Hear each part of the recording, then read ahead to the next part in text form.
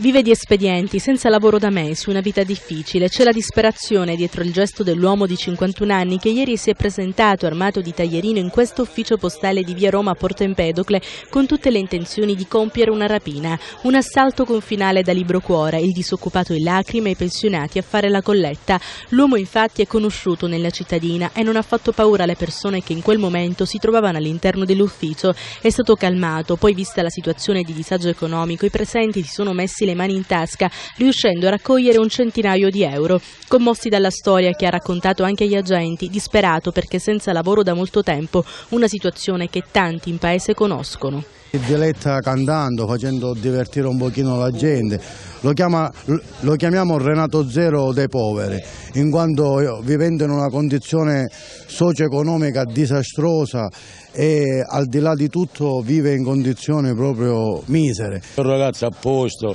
lavorava a scaricare la farina, e purtroppo dice che l'hanno licenziato, dicono, voce del paese. Non è da ora ma da tanto tempo che non è disperato. Ah, ma la disperazione purtroppo è, è brutta, le cose sono molto brutte. Tenuto conto che non aveva usato violenza né minacciato il cassiere e i clienti, i poliziotti lo hanno portato in commissariato dove non è stato arrestato ma solo denunciato per violenza privata.